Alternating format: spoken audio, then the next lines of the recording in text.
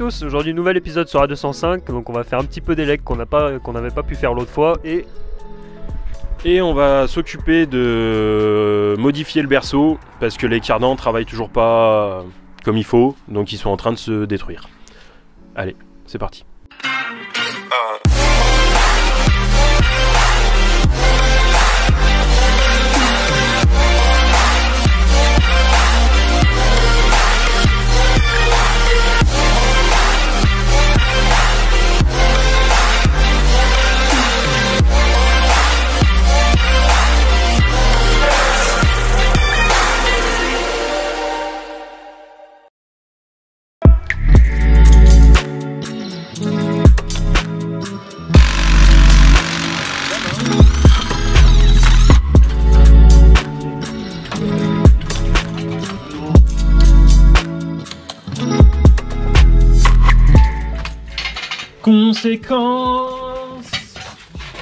Aïe. Ah ouais, c'est pas ouf quand même. Ah ouais, c'est marrant parce qu'il a fui à la, à la, à la- Ouais non mais tu vois c'est Ah oui, on voit les dégâts là. c'est là où il y a le colis qu'il a, perdu. Ah lui il est décédé. donc là clairement euh, le cardan n'a pas survécu là. Non, il a vraiment pas travaillé comme il faut. Enfin, le, souffle, euh, le soufflet du moins, le cardan lui-même on sait pas trop mais. Bah non mais vu qu'il a perdu tout son gras, Ouais.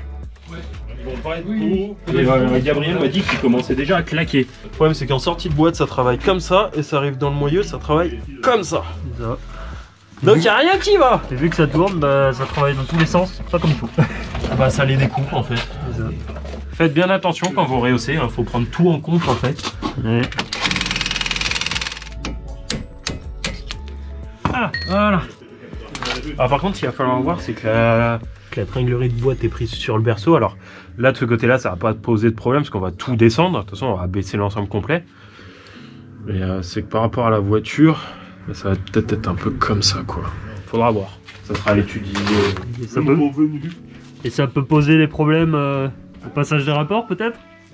C'est probable. Alors, je crois, après, je crois que c'est monté sur l'articulation, donc au pire, ça sera pas trop trop gênant. Ouais, faut, faut tester quoi. Bah, de toute façon, un peu comme tout le reste. hein. Ouais, oui c'est vrai, c'est de l'expérimentation, ouais. Pour soulager les cardans, on va fabriquer des cales pour descendre un peu le berceau. On a pu dire par le passé que les cales étaient interdites sur le 205 trophée, mais après avoir demandé à l'orga, il semblerait que ça se décide au cas par cas. On va donc faire ça le plus proprement possible afin de fiabiliser la réhausse de cette petite 205.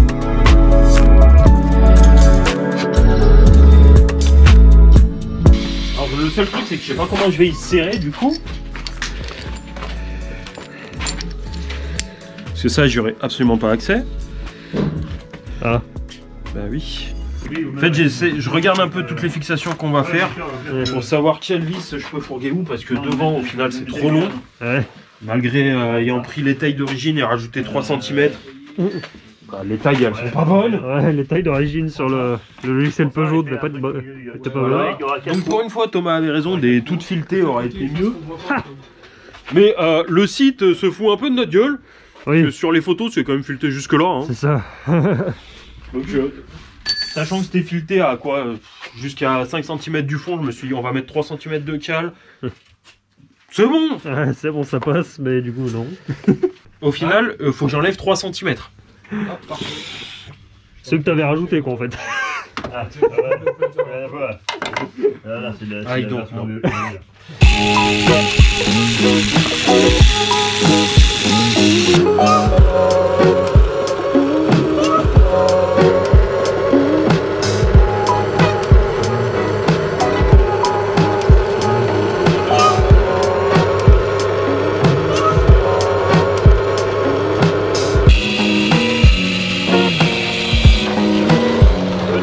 que les cales de berceau sont faites, on peut les mettre en place.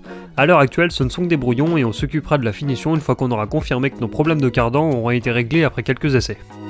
On chou.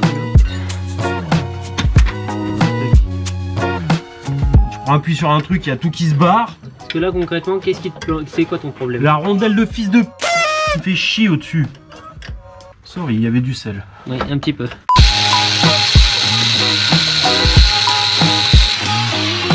Je crois qu'il est pas content. Il faudrait un disque neuf. plus de problème. Une fois le berceau remonté, on peut passer au cal du support moteur et du support de boîte. En théorie là, si on s'est pas raté dans le filetage. Ma magnifique cale. Bon j'ai pas fini de la découper. Oui. Hop.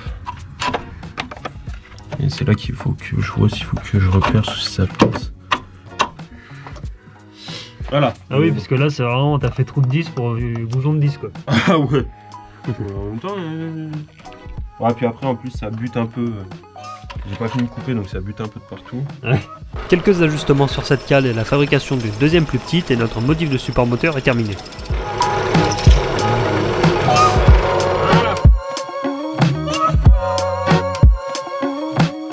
Hmm, c'est une jolie cale ça, toute petite, toute mignonne. Et si je la touchais? Difficulté, elle passe. Ah Oui, ils sont chauds. Putain, je suis vraiment trop con. Ah, t'as posé le doigt sur l'autre? Bah ouais, je me suis dit, tiens, elle est sympa celle-là, je l'ai prise. Ah oui, Mais genre un plein doigt, tu vois. celle-là, je l'ai meulée. Ah Bah oui, bah oui, Il bah faut j'ai que- j'ai mal. Parce qu'il faut qu'elle vienne passer dans le creux de merde. Et le voilà en place, on peut maintenant passer au support de boîte.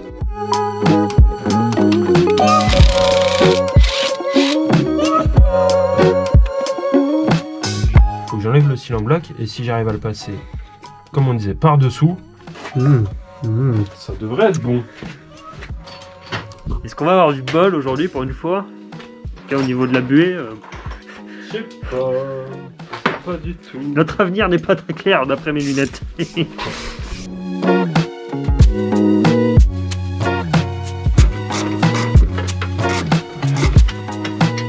Alors, voilà. Effectivement, c'est plus simple comme ça. Mm. Alors, fais voir. Ah ouais, bah voilà, c'est bon. Voilà, Ouais. on a la dimension des cales qu'il faut faire. Mais du coup, ça va pas le cisailler, euh, ça, genre si. euh, Avec non, parce que je pense qu'on aura. On touchera pas, je pense. De toute façon, je vais être obligé de faire des cales, hein. c'est pas lui qui va reposer Bah, direct dessus. oui, oui, oui. Eh bah, bah, regarde. Des cales de. Ah bah, on a 20, euh, 29. Deux cales plus tard, et le support de boîte est modifié.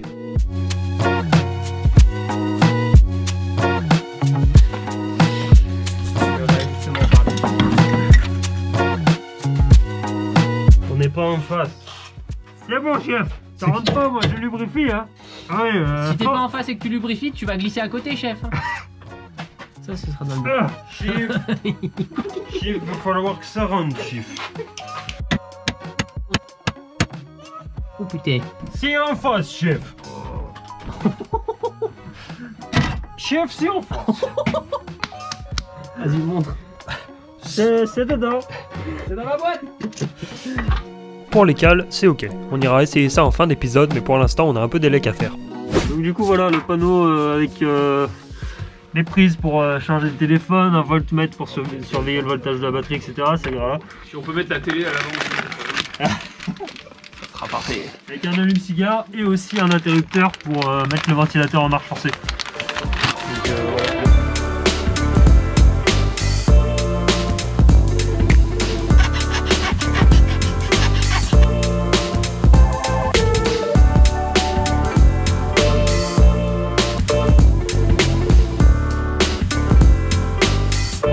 Vu qu'il n'en a pas d'origine, on va aussi rajouter un manomètre pour surveiller la température d'eau. Non, mais là, on voit vachement bien, hein, même le conducteur il voit vachement bien là. C'est avantage d'avoir un habitacle euh, Oui, qui Qui n'est pas un habitacle, mètre, euh, ouais, voilà, qui fait un de Hummer de large. H1. Ouais. Du coup un, un petit trou là, on va voir. On essaye?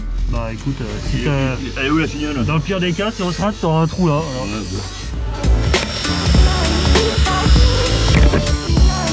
Bon bah vu comme le soir est parti, je pense qu'il y a rien derrière. On est pas bon. emmerdé.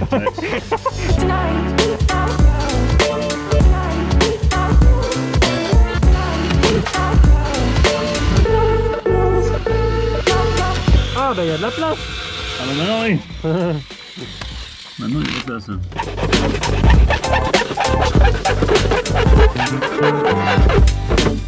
Ouais, parfait là. Nickel. Maintenant que le panneau et le manomètre ont trouvé leur place, je peux commencer le câblage.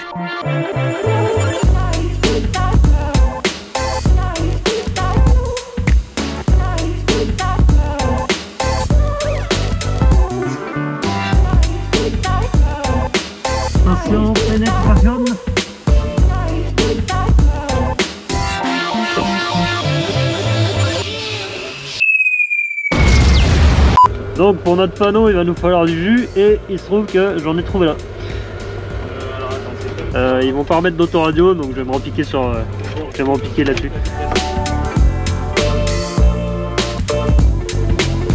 Euh, donc comme j'ai dit, on va rajouter un inter pour mettre le ventilo en marche forcée. Donc il faut que je tire un fil euh, de là euh, jusqu'au radiateur, euh, au ventilateur.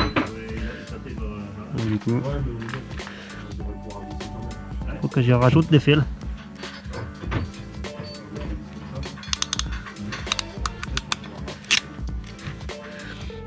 Tada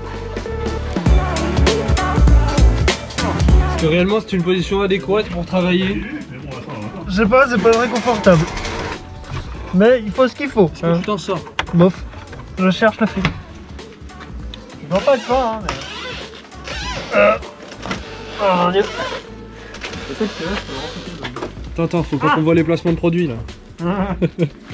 Pour un truc qui se vend pas. Tant que j'en étais à faire passer des fils dans l'habitacle, j'en ai profité pour installer le câble de la barre LED. Gabriel euh, la veut amovible, donc du coup là je vais mettre le connecteur et après ils auront juste à prendre le câble et... Tac, par la fenêtre. Impeccable. La prise de la barre LED. Du coup, Là, si ça marche pas, par contre, c'est spectaculaire. hein. voilà, et là, le petit bouton. Oh, si ça marche. Voilà. Donc du coup, j'ai tiré les câbles depuis le depuis la batterie hein, qui est là. Tac. Le passe-fil. Ça sort là. On a notre interrupteur qui est ici et la prise de la batterie, la prise de la barre qui monte, qui monte, qui monte, qui monte, qui monte et qui est là comme l'a demandé Gabriel donc pour avoir la barre LED amovible. Donc il la passera par sa fenêtre et le support est monté. Donc voilà, la barre LED est totalement amovible et ça flash.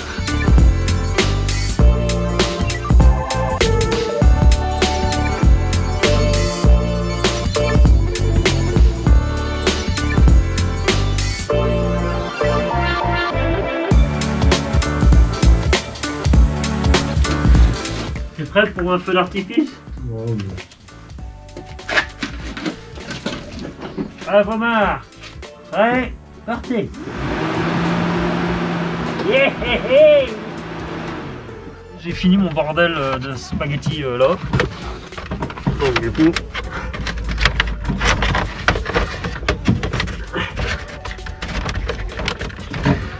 Donc ça concrètement, si tu rebranches, c'est fonctionnel. Ouais, c'est le cas. Mais là, il n'y a pas de batterie dans la bagnole, donc du coup, on va pas pouvoir vous montrer. Mais 12 volts, deux ports USB, tac, un voltmètre pour surveiller le niveau de la batterie, et ça, c'est l'interrupteur pour mettre le ventilateur en marche forcée. euh, dans le désert, ça peut être pas mal. Donc voilà. Et grosso modo, qu'est-ce qu'il te reste à faire comme travaux dessus Au niveau des lecs? Euh, bah, il y a juste les deux fils du ventilo euh, à rajouter. Ok. C'est tout. Après, ça sera bon.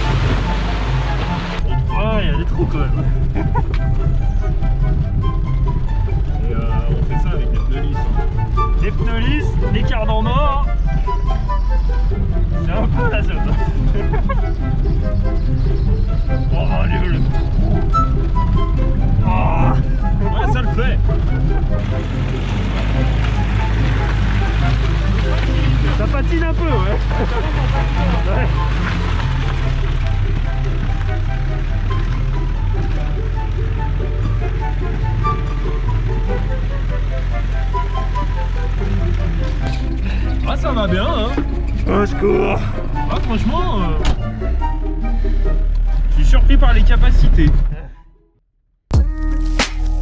Au final, l'essai s'est bien passé, donc on n'a plus de claquement de cardan. Gabriel a même fait plusieurs centaines de kilomètres avec la 205, donc on peut dire qu'on peut valider le setup. Euh, on pourra finaliser le berceau dans une prochaine vidéo. On place aussi un gros big up à Jonathan qui avait préparé le C15 de Baptiste Pitois et qui nous a apporté ses lumières pour fiabiliser le berceau. Et on vous dit à bientôt pour une prochaine vidéo sur la 205. Ciao